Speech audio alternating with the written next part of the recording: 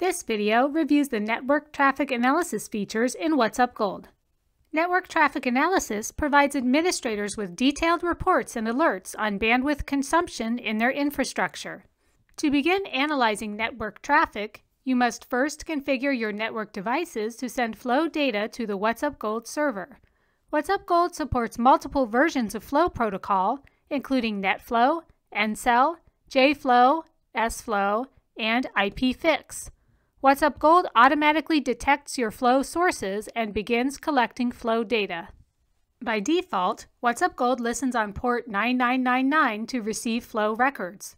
You have the option to change this on the Settings tab. After the WhatsUp Gold server begins to receive flow data, it automatically generates reports that you can use to analyze bandwidth consumption in your environment.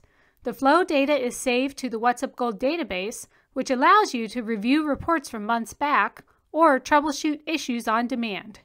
Here on the home page, you can see your most meaningful flow information at a glance. When you navigate to the Senders and Receivers tab, you see more detail into bandwidth consumption for your top senders and receivers. You can also leverage a variety of built-in troubleshooting reports. These network traffic analysis reports can generate Excel spreadsheets and other file types on demand, or you can even schedule them to be sent via email on a regular basis. Now let's take a look from a device point of view. You can see the network traffic information for a specific device by opening its device information card and expanding the NTA section. This example shows a NetFlow source, so you see three different pieces of information here. You can see that there are several source interfaces that are actually transmitting net flows that are configured on this device.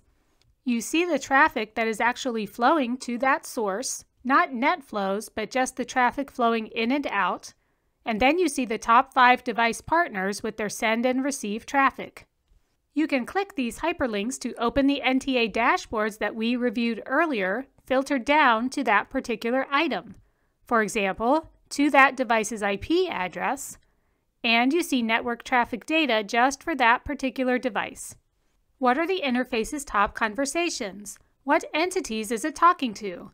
What are the top applications for that particular device? Who are the top senders and receivers from that device?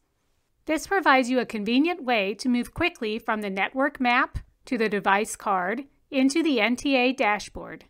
In addition to the reporting capabilities, WhatsUp Gold's network traffic analysis also gives you the ability to set thresholds based on the network traffic information.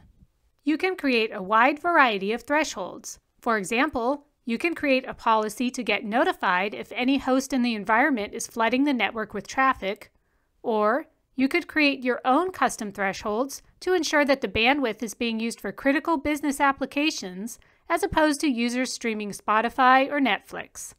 Thank you for watching this video reviewing WhatsUp Gold Network Traffic Analysis.